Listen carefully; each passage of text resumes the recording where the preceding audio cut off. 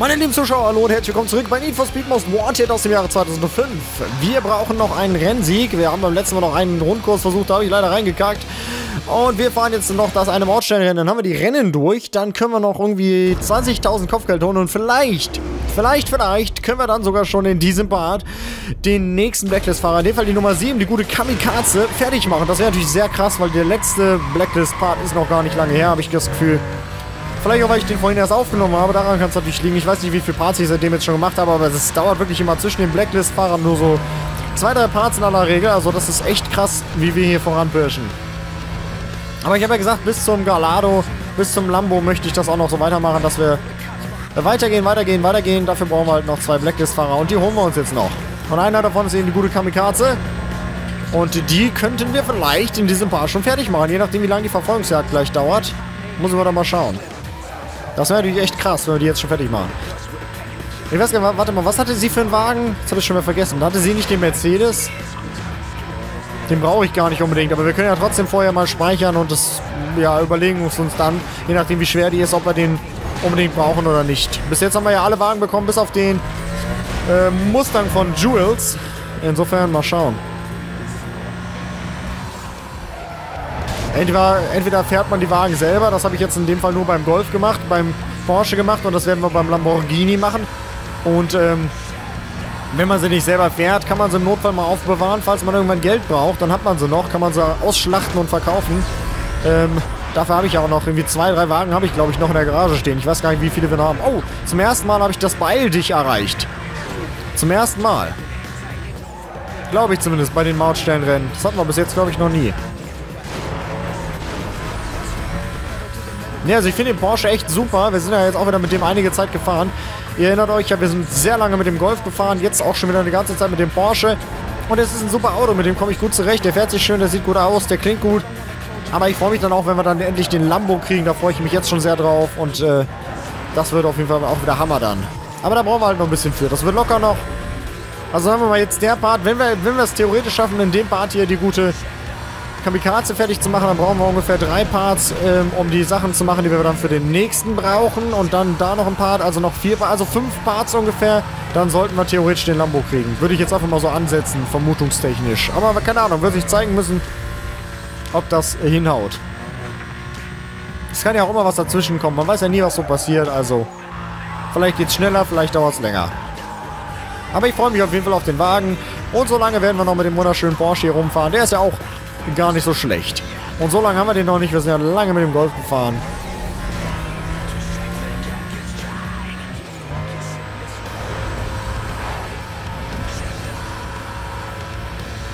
Und im Hintergrund schreien sie sich wieder ein aus, dem, aus der Seele, du. Ich kann jetzt keinen sehr langen Part machen. Also ich könnte jetzt keine 25 Minuten machen. Ich habe nämlich nur Speicherplatz für ungefähr 15 bis 20 Minuten. Das heißt, der Part kann gar nicht so lange werden, weil meine Festplatte ist sonst voll. Ich muss noch die alten Need for Speed Teile rendern. Die nehmen so viel Platz immer weg. Ein Part locker 200 GB. Und äh, das muss ich halt echt noch rendern vorher. Und deswegen kann der Part, ist der letzte, den ich überhaupt aufnehmen kann, weil dann die Platte voll ist. Und der darf auch nicht allzu lange werden. Vielleicht so 18 Minuten wäre ganz gut. Also mal schauen. Deswegen, wie gesagt, es kritisch sein, ob wir die in diesem Part noch fertig kriegen. Also, wenn, dann scheitert es eher daran, dass ich keinen Speicherplatz mehr habe. So, das Rennen haben wir jetzt auf jeden Fall geschafft. Okay, wunderbar. Gut ist es. Uns schreibt Rock. Etwas dazu verdienen. Wenn dir langsam das Geld ausgeht, kannst du jederzeit zu den Rennen zurückkehren, die du auf deinem Weg durch die Blacklist noch nicht abgeschlossen hast. Ruf die Blacklist auf, wähle einen deiner besiegten Gegner, geh auf die Liste der Rennen und absolviere die noch nicht abgeschlossenen Rennen. Du kannst auch bereits gewonnene Rennen nochmal fahren, um etwas Geld zu verdienen. Ansonsten kannst du noch einen deiner Wagen verkaufen. Das ist eine schnelle Möglichkeit, um ein Geld zu bekommen. Aber denk dran, die Autohändler in der Stadt geben dir nur die Hälfte des Originalpreises für den Wagen. Das gesamte Geld, das du in Tuning gesteckt hast, geht verloren. Wenn du einen deiner Wagen verkaufen willst, ruf in deinem Unterschlupf den Wagenauswahlbildschirm auf und suche einen aus. Ja, wir wollen momentan keinen Wagen verkaufen, denn wir haben eigentlich mehr als genug Geld. So, jetzt brauchen wir nur ein bisschen Kopfgeld. Was machen wir noch? Wir haben mehr als genug Geld, insofern brauchen wir das gar nicht machen. Und das ist aber eigentlich ganz lustig, finde ich, dass man die Rennen dann nochmal fahren kann von den anderen Blacklist-Fahrern. Das heißt, vielleicht, wenn wir merken am Ende, das Let's Play war uns zu kurz, dann können wir das so machen. Das war einfach, ähm, die ganzen Rennen alle noch nachholen. Dann fahren wir am Ende, holen wir uns dann einen richtig krassen Wagen, zum Beispiel halt den Carrera GT komplett getuned und mit dem fahren wir dann alle restlichen Rennen noch. Das könnte man natürlich schon machen, so ist es nicht. Also wenn ihr, Weil viele immer sagen, öh, warum spielst du das jetzt so schnell durch? Ja gut, man kann das im Endeffekt dann das, was man jetzt halt überspringt, um möglichst schnell an die Blacklist-Spitze zu kommen, kann man ja im Notfall am Ende noch machen. Das ist ja nicht das Problem. Ups, jetzt habe ich den schon kaputt gemacht. Sorry. Wollte ich gar nicht.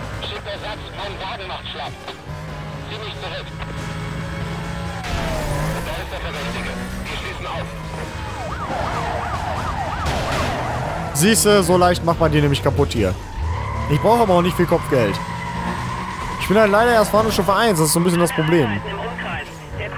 Ich habe es ja auch selber herausgefordert, indem ich die Fahndungsstufe zum einen selber gesenkt habe, zum anderen hat aber auch Mia dann nochmal einen rausgehauen und hat nochmal die Fahndungsstufe weiter runter gemacht und dann sind wir im Endeffekt hier gelandet. So, das wird jetzt leider lange dauern, weil ich immer wieder schnell entkommen werde.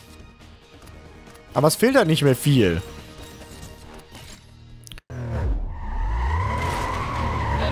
Theoretisch kann man auch einfach immer hier runterfahren, das Ding kaputt machen, dann stirbt der und dann kriegt man die bisschen, das bisschen, was der bringt. Aber das ist ja eigentlich langweilig.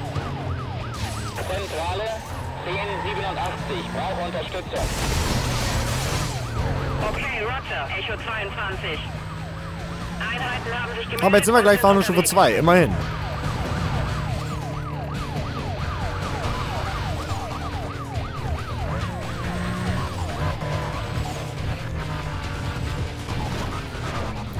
Ja, ja, wir fahren hier so unsere Ründchen. Fahren mit der Polizei ein bisschen spazieren. Immerhin gleich Fahndungsstufe 2. Ich glaube, wir, wir starten eine 1075. Eine Straßensperre oder was ist das? 1075? Ich habe meine Codes leider nicht dabei. Ich hatte ja mal von jemandem alle zugeschickt bekommen, aber... Jetzt muss ich die wieder hinterherfahren, weil der wieder abbaut. Das Problem ist nur, wenn die abbauen, sind die mega schnell. Und den werde ich nicht kriegen. Guck mal, seht ihr, wie der ab abzischt? Das ist so kaputt. Das ist aber echt manchmal so. Die, wenn die dich verlieren, dann hauen die ab mit Highspeed, mit 400 Sachen. Du kommst da nicht mehr ran. Die sind dann so schnell. Jetzt werde ich schon wieder entkommen wahrscheinlich. Ohne, dass ich das will. Ne, also wir werden sie vermutlich definitiv in diesem Part nicht mehr fertig kriegen, die gute äh, Kamikaze. Also der ist geflogen. Macht aber ja nichts. Das heißt, äh, vielleicht anfangen werden wir sie wahrscheinlich schon können und dann machen wir sie dann beim nächsten Mal zu Ende.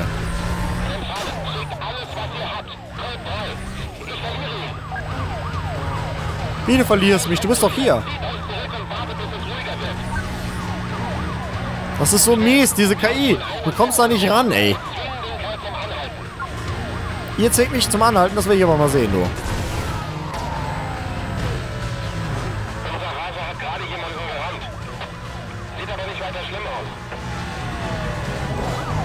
Und da fängt es an zu schütten.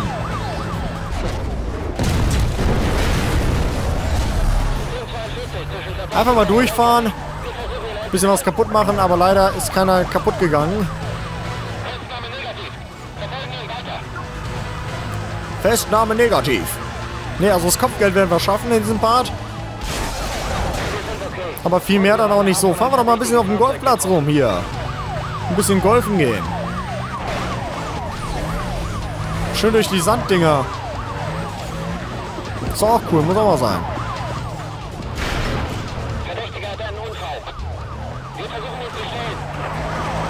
Nicht, dass ich hier auf dem unebenen Untergrund noch geschnappt werde, weil der Wagen sich hier kaum steuern lässt, vor allem hier im Sand. Ich sollte mal lieber hier weg. Ist halt kein Offroad-tauglicher Wagen.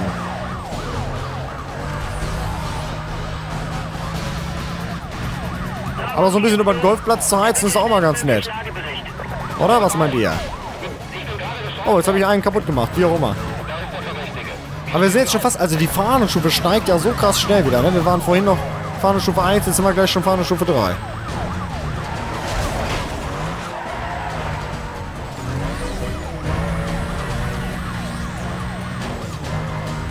Ja, Jungs, ist es? Gebt mir mal ein bisschen Kopfgeld oder geht sterben?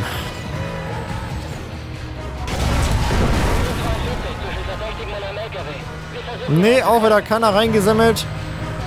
Das ist schade. Normalerweise kriegt man die auch damit teilweise kaputt. Das ist auch so ein bisschen wie so ein mobiler Verfolgungsstopper eigentlich. Manchmal, äh, manchmal macht man sich damit aber auch selber nur Probleme.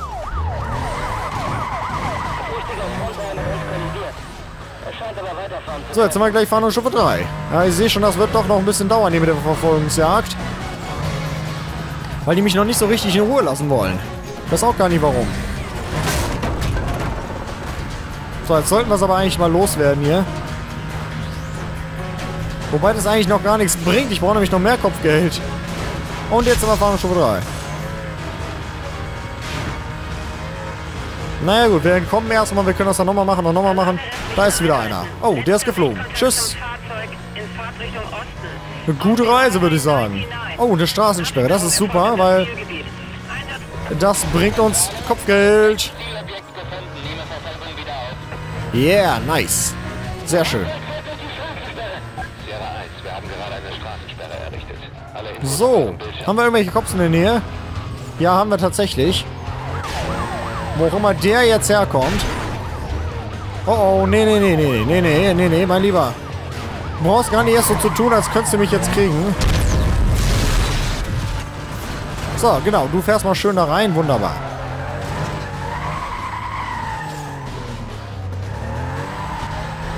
Schade, ich dachte vielleicht äh, entkomme ich hier schon. Aber das scheint noch ein bisschen zu dauern hier. Ob man es will oder nicht. Man kann sich ja leider doch nicht aussuchen. Wenn es zu lange dauert und die Aufnahme von alleine ausgeht, weil die Festplatte voll ist, dann mache ich das natürlich aus dann. Äh, mach dann Pause, damit ihr dann nichts verpasst. Ich muss nur darauf achten, auf die Zahl, dass ich das sehe, ob Fraps ausgeht. Und wenn ja, dann ist halt mittendrin Schluss und dann äh, machen wir dann beim nächsten Mal noch weiter, falls es zu lange dauert.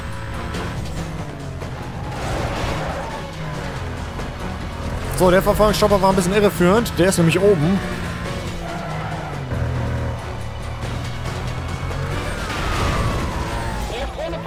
Ah, nein, nein, nein, nein, nein, nein, nein, nein, nein, nein, nein, keine gute Idee. Ah, das ist so kritisch immer. Mit den Straßensperren muss man echt aufpassen. Da darf man, darf man nicht zu riskant sein. Ich bin schon mal bei der Straßensperre hängen geblieben, ihr erinnert euch. Und das ist riskant, aber die bringen halt auch Kopfgeld. Deswegen, komm, wir fahren mal hier durchs Stadion. Da bringst du, du immer gut vor den Kopf davon. In aller Regel. Durch das kleine Ding da. Durch das, was denn das? Amphitheater oder sowas. Irgend so eine Bühne halt. Ja, ich habe Sichtkontakt. Code 3. Tja, dauert länger als ich wollte. Aber macht ja nichts. Okay. Und da kommt Verstärkung und 15 Wagen. Alter. Das wird noch bis zum Ende dauern. Ich sag's euch. Meilenstein erreicht. Ich werde auch gleich noch wahrscheinlich dann äh, Stufe 4 erreichen und uns dann doch wieder nicht zu Ende bringen können. Oh, hier ist ein Versteck. Wo, wo, wo, wo, wo? Da. Komm schon, lass mich mal entkommen hier. Ich glaube zwar, dass das vielleicht immer noch nicht reicht, aber wir haben einen Meilenstein bekommen. Doch, das wird reichen. Wir haben einen Meilenstein bekommen. Das wird reichen, ja. Schön. Wunderbar. So, Verfolgungsdauer 23.000. Polizeiwagen zerstört, nochmal nochmal 11.000. Verfolgungsdauer, Kopfgeld, äh, Meilenstein. Und damit sind wir bei 94.000. Und das müsste reichen. Das müsste reichen. Ja, Rock schreibt uns. Habe gehört, dass Casey ein Rennen gegen dich will. Das Mädel hat sie nicht alle. Nimm sie dir vor und mach sie fertig. Ja, das werde ich natürlich machen, mein Lieber. Das ist klar, was anderes gibt's gar nicht. Frauen schlagen zwar nicht, aber Frauen fertig machen ist kein Problem. Also Casey sagt er. Ich habe ja Katze oder Kamikaze oder Case gesagt, aber er sagt Casey. Ca- Casey, aber dann schreibt man sie eigentlich. Ja gut, sie kann sich ja schreiben, wie sie will. Ähm. Und die will also von mir fertig gemacht werden, denn wir haben jetzt alles, was wir brauchen für die Gute. Dann gehe ich jetzt erstmal zurück zum Unterschlupf. Speicher natürlich einmal. Und dann können wir zumindest vielleicht schon das erste Rennen noch fahren. Sonst ist der Part jetzt arg kurz. Das möchte ich euch auch nicht antun. Auch wenn ich das natürlich immer gerne in einem Part mache. Ihr wisst ja, ganz werden wir sie nicht schaffen. Aber ich will auch nicht jetzt gar nichts machen. Also wir fangen sie schon mal an. Den ersten Sprint werde ich einmal versuchen. Wenn der klappt, dann haben wir die Hälfte. Wenn der nicht klappt, machen wir beim nächsten Mal dann den Rest. Okay, los geht's gegen Kamikaze Casey. Nummer 7 auf der Blacklist, glaube ich. Mal gucken, was sie kann. Wir hatten also die letzten, den letzten hier gegen, äh, wer war denn das hier, die letzte? Jules war, glaube ich, die letzte. Da hatten wir doch ein bisschen Probleme dann, äh, aber im Endeffekt ging es dann auch ganz gut. Wir müssen mal schauen, wie sie mit ihrem Mercedes, äh, was für Probleme sie uns da bereitet oder ob wir sie vielleicht fertig machen können.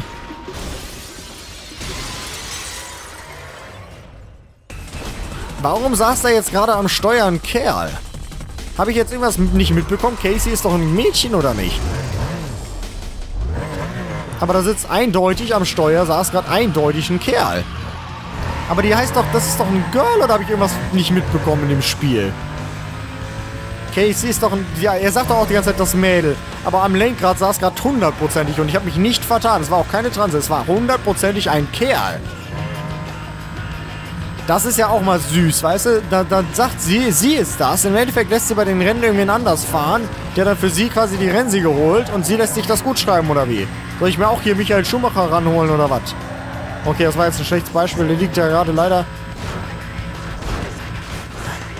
Hatte ja leider einen Unfall. Das war jetzt ein blödes Beispiel. Da, wollte ich, da, da tritt man leider mal ein Fettnäpfchen ab und zu. Tut mir leid, wollte ich nicht. Ist der erste Rennfahrer, der mir eingefallen ist. Okay, soll ich mir Sebastian Vettel ranholen? Oder was? Der fährt dann für mich und dann sage ich, ja, schön habe ich dich fertig gemacht, ne? Und dann holt sie sich irgendwelche Kerle, die für sie fahren. Wahrscheinlich, weil sie keine Ahnung hat oder weil sie noch in der Maniküre ist oder was. Lässt sie sich noch die Nägel machen. ist eh so ein Frauenauto. Guck dir das Ding noch an.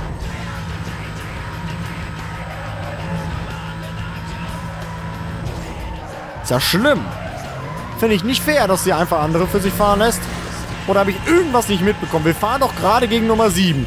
Oder nicht? Und ich habe doch die ganze Zeit bin ich davon. Ja, ja klar, der hat ja auch. Rock hat doch auch gesagt, das Mädel hat sie nicht alle und mach sie fertig. Ich habe das schon nicht irgendwie falsch mitbekommen, ja? Das ist also wirklich tatsächlich ein Spielfehler. Wahrscheinlich sind die Fahrer sowieso immer Standard. Immer derselbe. Also vom, vom dem Modell, was im Auto drin ist, wahrscheinlich immer derselbe. So, die Hälfte haben wir. Er oder sie, ist ja eigentlich jetzt eher ein Er, obwohl wir eigentlich gerade gegen sie fahren. Ähm, hängt ziemlich nah an uns dran. Und ich glaube, das könnte schwierig werden, das beim ersten Mal zu gewinnen. Wir versuchen es natürlich.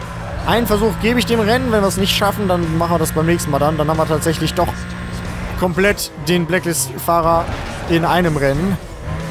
Aber wir versuchen es erst einmal. Wenn wir die Hälfte schon schaffen jetzt, das wäre natürlich auch ganz nett. Hätte ich nichts gegen. So, bei 70% sind wir. Achtung, steile Kurve. Sag ich nur.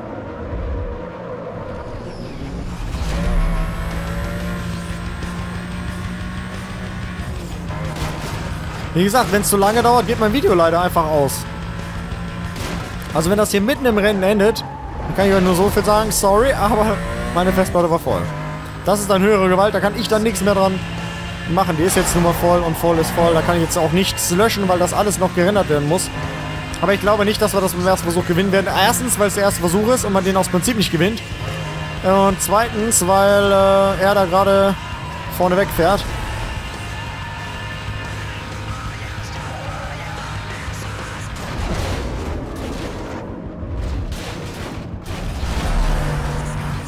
Leider dann am Ende doch noch in die, in die Ecke reingekratscht. Ne, haben wir verloren. Schade, aber so knapp. Seht ihr, wie nah wir da dran sind? Okay, beim nächsten Mal müssen wir es nochmal machen. Schade, ich habe es versucht, hat nicht geklappt. Also dann hat das Spiel mir sagen wollen, doch, mach alles in einem Part. Den kompletten Blacklist-Fahrer ist wohl besser. Zumindest können wir jetzt ähm, dann beim nächsten Mal alles in einem Part machen und ihn oder sie auch fertig machen. Ist auch schön, dass es dann doch noch ein Part länger gedauert hat. Bis zum nächsten Mal bei euch. Einen schönen Tag und alles Gute, euer Walle. Bye bye, ich bin raus und ich muss jetzt erstmal rendern, denn sonst kann ich keine Videos mehr aufnehmen. Tschüssi.